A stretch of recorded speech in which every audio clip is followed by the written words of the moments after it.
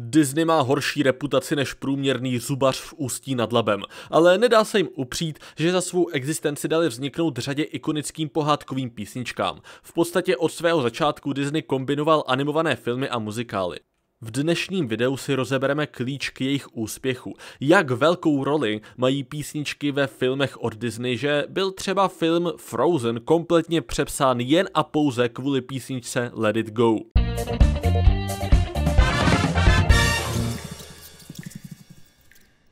Přeji pěkný den se Sewer Studios, já jsem Alderus a celý život předstírám, že moje oblíbené pohádky nejsou jen vyfabrikované produkty korporátu, který jede přesně podle zavedených struktur, které s největší jistotou zařídí přísun šmakulády do kasičky Boba Igra. Chci říct, do jisté míry to ani tak není. V Hollywoodu pracuje řada talentovaných umělců, kteří chtějí předat svoje nápady dále, ale natočit film, na který nebude bolest se koukat, prostě stojí prachy. No a nemůžete rozhazovat 100 milionový rozpočty na filmy, kde je velký riziko, že to prostě nevyjde. Nikdo nesadí v ruletě všechno na dvacítku a jestli jo, tak na podruhý už nebude mít co. Prostě jestli chcete točit filmy, musíte aspoň trochu hrát podle pravidel. Je tu řada prvků, témat, motivů a způsobů zpracování, které prostě fungují líp jak jiný. Hodně dobře je to vidět právě u písniček v pohádkách od Disney. Ty se v zásadě dělí do dvou kategorií. První je soundtrack v pozadí, který tu vůbec nebudu řešit. Prostě téměř během všech scén hraje potichu za dialogy z pravidla orchestrální hudba, která svou náladou podporuje náladu scény, obdobně jako třeba hudba v pozadí tohohle videa. Čemu se zde budu věnovat, jsou muzikálová vystoupení, písničky, které zpívají přímo postavy filmu. Disney s tím začal od počátku svých celovečerních filmů. Muzikálová složka je extrémně důležitý stavební kámen jeho filmů, často i víc jak 10 písniček v jednom filmu. Například víc jak 20% délky Sněhurky a sedmi trpaslíků se zpívá. Má to mnoho důvodů písničky mají velice pozitivní efekt pro pozornost malých dětí, které by dlouhý film, kde by se jenom povídalo, mohl nudit. Zároveň samotný příběh řady Disneyovek je dost přímočarý na celovečerní film. Písničky mohou pomoct v protažení filmu, aniž by scénáristé museli zamotávat děj a přikládat proužek Subway Surfers nebo klipu Griffinový. Haha, chápete? Děcka mají problém s pozorností, ach já se tak vtipnej. Kromě toho všeho má ale řada písniček z Disneyovek potenciál prorazit samostatně. Nejsou to jen rekvizity do filmu, ale písničky, který si řada lidí ráda pustí jen tak. Pro film je to způsob organické propagace. Spousta lidí si chce pustit film, ze kterého je ta dobrá písnička. A a tady začíná to pravé umění propojení písniček s filmem. Nestačí jenom, aby to byla dobrá písnička, co zazní ve filmu. Ona tam nemůže jenom zaznít. Ona musí být součástí toho filmu. Aby to bylo úspěšné, písnička musí hrát úplně stejně důležitou roli jako příběh, humor, design postav a cokoliv dalšího. Většina Disney pohádek minimálně donedávna vyprávěla v celku jednoduché příběhy s velice jednoduše vykreslenými postavami, aby se v tom snadno orientoval i Pepíček odvedle, kterýmu kdysi do kočárku spadla cihla. Tahle přímočarost vede k základnímu boji dobra se zlem. Dobro reprezentuje hlavní postava, protagonista a zlo záporák, antagonista. No a představení hlavních postav a vykreslení jejich charakteru je ideální místo pro písničku. A těmhle písničkám je věnováno nejvíc pozornosti autoři chtějí, aby právě tyhle písničky byly banger. Přestože ve filmech zpívá více postav, nejpopulárnější písničky jsou ty, které představují hlavní postavu filmu, protagonistu a antagonistu. No a Disney to má opravdu promakaný. Tyhle představovací písničky můžeme rozdělit mezi písničky, které představují kladného a záporného hrdinu. Ty, které se týkají kladěse, se víceméně všechny dají označit jako takzvané I want songs, takže písničky já chci. Hrdina tam představuje sám sebe a to takovým způsobem, aby nám ukázal své touhy a motivace.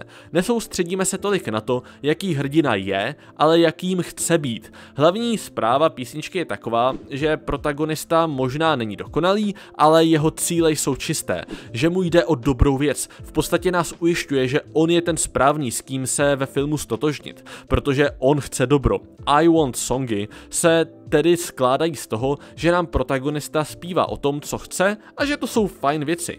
Ariel zpívá o tom, že by chtěla být jen součástí světa, nepřeje nikomu nic zlého, jen by chtěla žít s ostatními a bavit se s nimi. Vajana zpívá o tom, že by chtěla vyplout na moře, aby pomohla svým lidem. Bell zpívá o tom, že chce být něčím víc než jen ženou v domácnosti. Mirabel zpívá o tom, že chce dostat šanci ukázat ostatním, že je stejně schopná jako oni a seznam pokračuje. Nemyslím si, že všechny Disney písničky, které představují hlavního hrdinu, jsou I Want songy, ale většina z těch nejúspěšnějších ukazuje motivace postavy a tedy i čistotu jejího charakteru.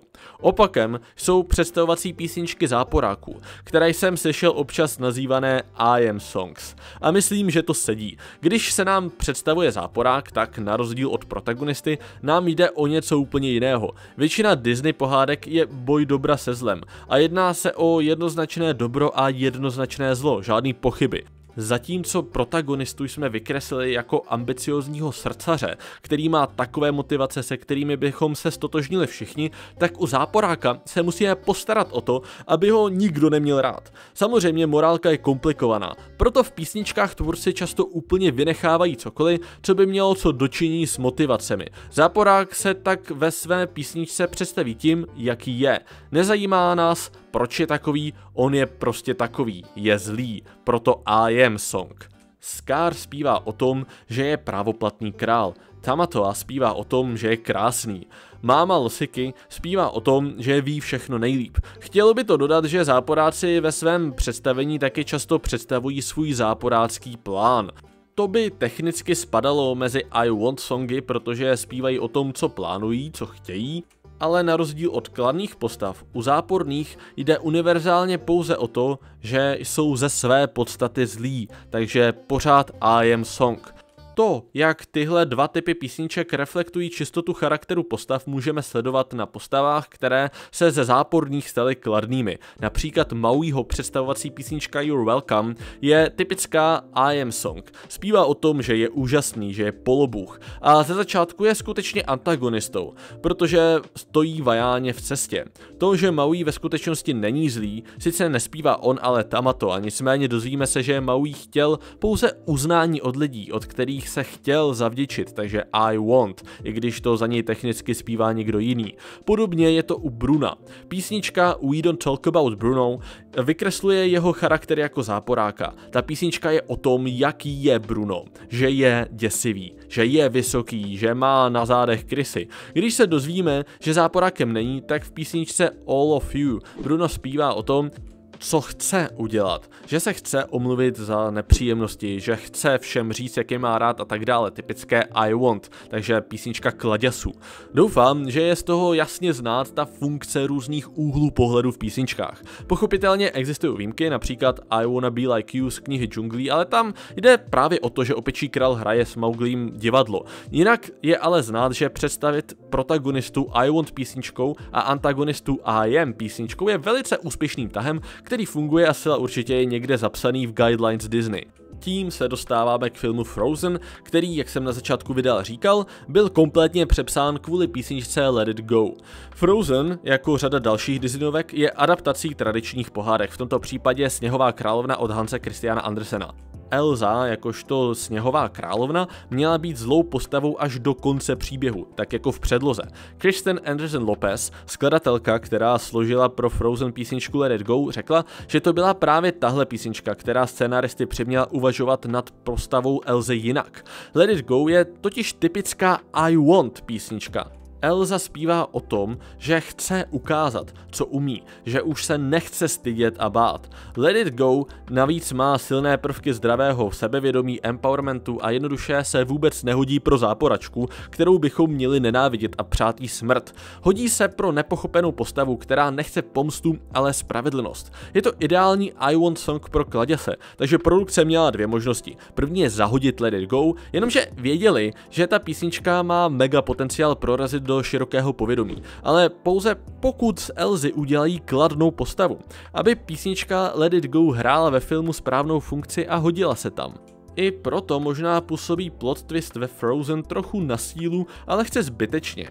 Protože tam původně být neměl a scénaristé se po přepracování charakteru Elzy nejspíš lekli, že by filmu chyběl nějaký echt záporák. Nicméně sázka na Let It Go jim vyšla. Jedná se o bezkonkurenčně nejposlouchanější písničku Disney, která navíc přispěla k tomu, že Frozen je z finančního hlediska nejsilnější franšíza Disney Animation. Pro dnešek to ale bude všechno. Jaká je vaše nejoblíbenější písnička z Disney pohádek? Napište mi to do komentářů, já budu moc rád za like a odběr na kanál Euro Studios. Pokud chcete, můžete nás podpořit skrze členství na kanál jako třeba Ondřej Novák na páté úrovni prezidenta Ondry, nebo jako Aronax, Matěj Rilich, Olaf Katen a Kapsaran 42, kteří nás podporí čtvrtou úrovní kmenovým vůdcem Elzáků, nebo jako Ondřej Pecher, který nás nově podporuje třetí úrovní Donem Křemílkem. Všem jim patří velký dík za to, že pomáhají udržet tenhle kanál v chodu. Odkazy na všechno možné možné jsou v popisku, zatím se mějte a čau!